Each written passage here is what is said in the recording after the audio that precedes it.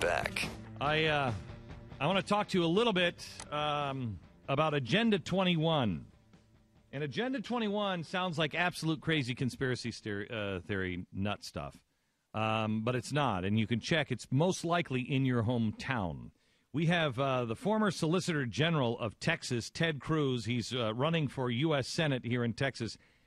Everybody I know and respect says this is the guy who should be uh, we should be putting into um, the uh, Senate uh, as a Republican.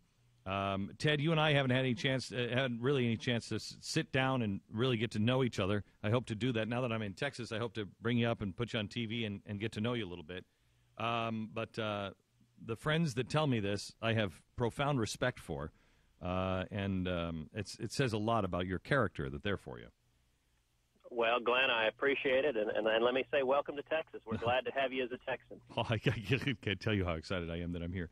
Ted, tell me about Agenda 21 and break it down for somebody who doesn't really even know what it is.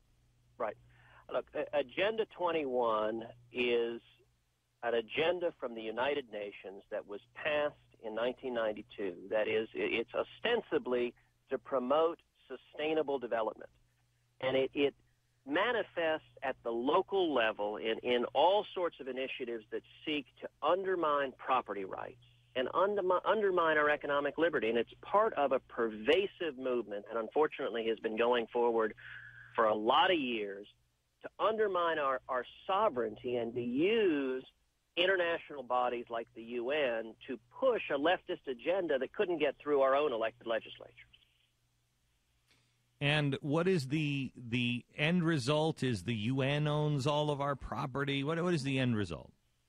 The, the end result is pushing away from private property, pushing away from single family home, pushing away from farming and ranching, because all of those are deemed contrary to the UN decree of sustainable development. It, it, it is essentially imposing a leftist agenda that takes the American way of life, uh, the single family, providing for yourself, owning responsibility, having your own car, all of those are viewed as contrary to the agenda of sustainable development.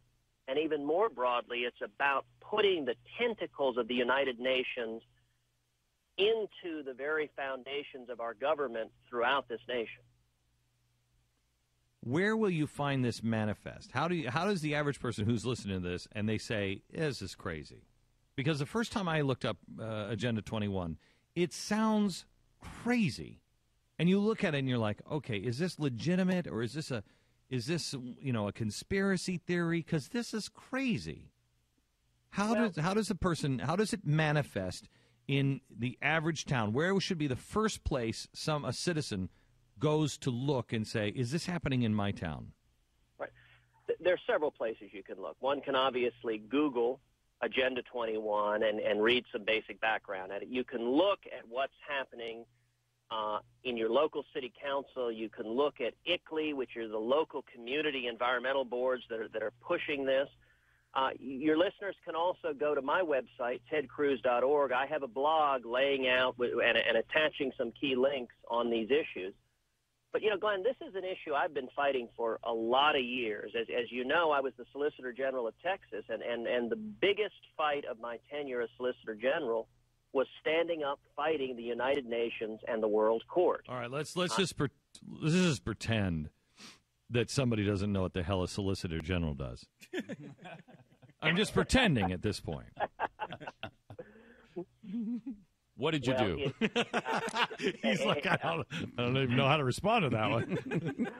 I, look, it, it, it's a very good question. The, the solicitor. It's not mine. Is, no, he, he's go ahead. I'm just I'm asking that for the listener. For, sure, yeah. sure. The, the, Solicitor General is the chief lawyer for the state of Texas in mm. front of the U.S. Supreme Court. And and what happened in this battle with the United Nations is two teenage girls were were horribly gang raped and murdered in Houston.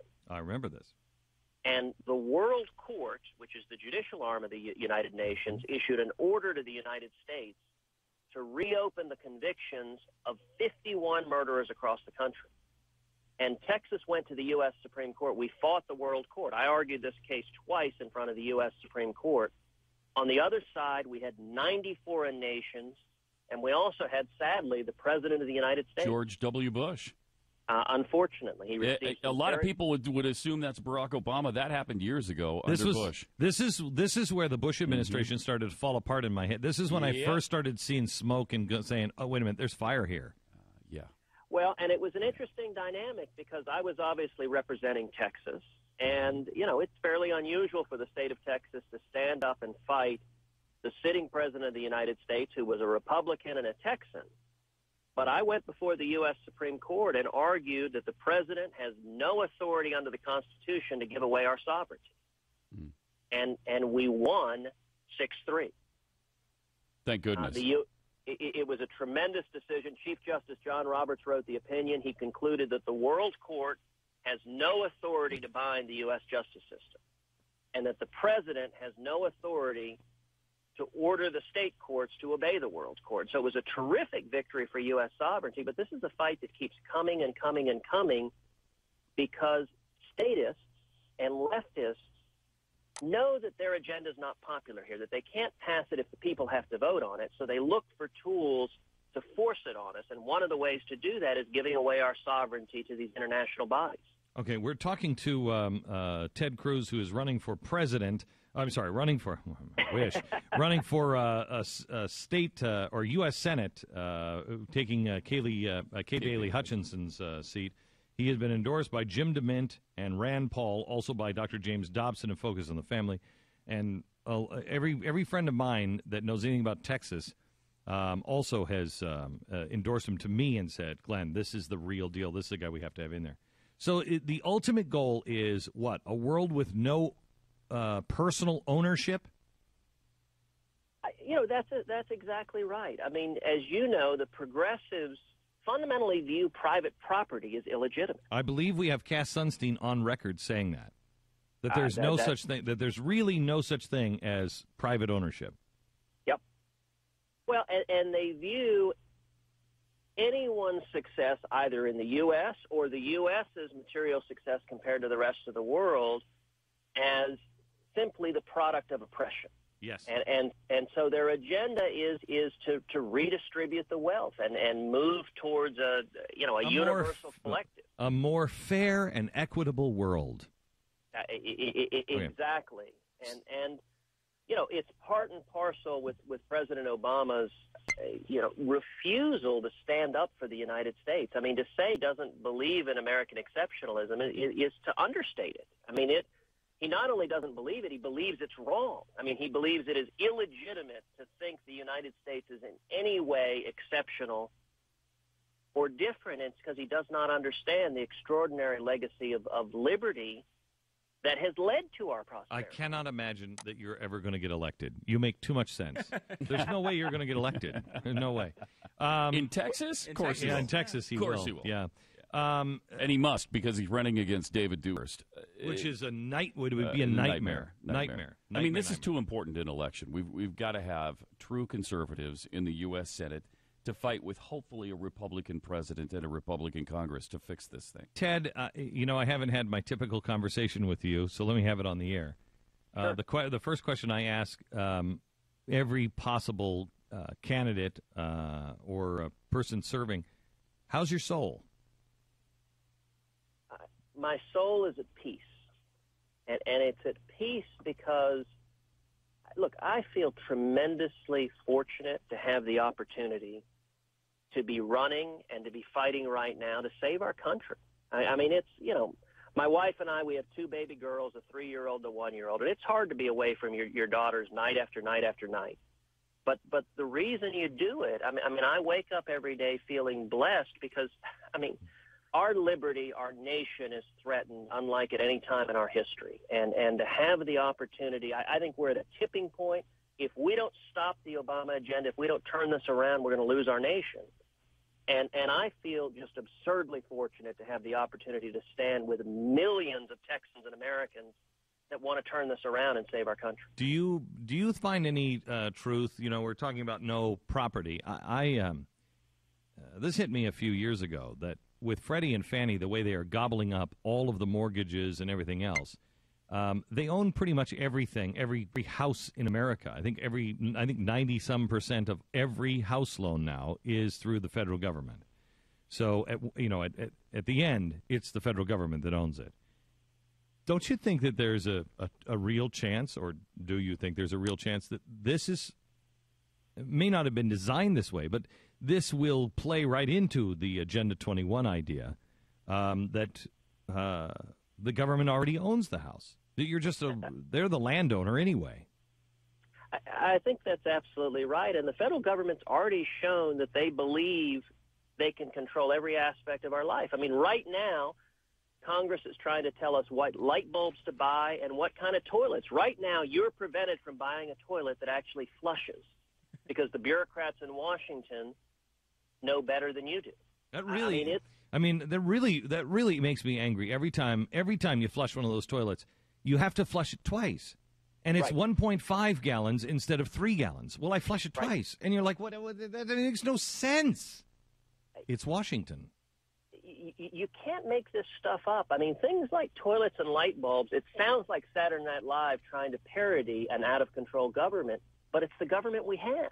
Yeah, I um I just put a new light bulb into um, a lamp a couple of days ago at my house, and my wife's like, I go to get a light bulb and I put, I put the light bulb in, and as I'm screwing it in on the top, it says "Made in Mexico," and Yep. I thought that's that is the reason why we shut down the plants. Where were they? North Carolina or South Carolina? When they passed that law, we shut down the only manufacturing of light bulbs. The country that invented them, we shut it Right. down because they couldn't retool, and they sent the jobs to Mexico.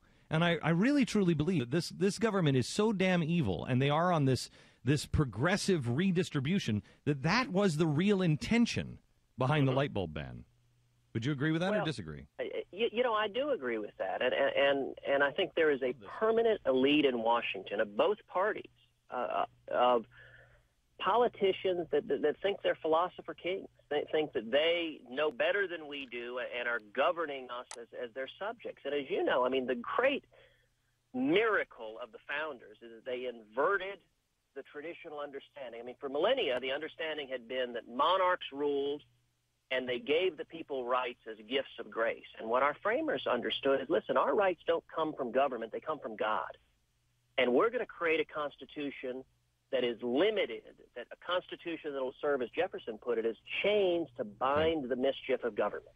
Uh, Ted Cruz running a Republican candidate for U.S. Senate, uh, and uh, Ted, I wish you luck, and we'll we'll see you soon. I want to bring you in and uh, and talk to you uh, and put you on uh, television as well. Thank you so much, and God bless. You want to, very much if you, if you thank you very much. I didn't mean to cut him off. If you want to uh, learn more about Agenda 21, it is in this month's Fusion magazine uh, or Blaze magazine. Go to uh, theblaze.com and find out more and how to get the magazine. It's something you really need to look into. Sponsor. The truth. GBTV. Anytime, anywhere. Sign up now at GBTV.com. Mercury.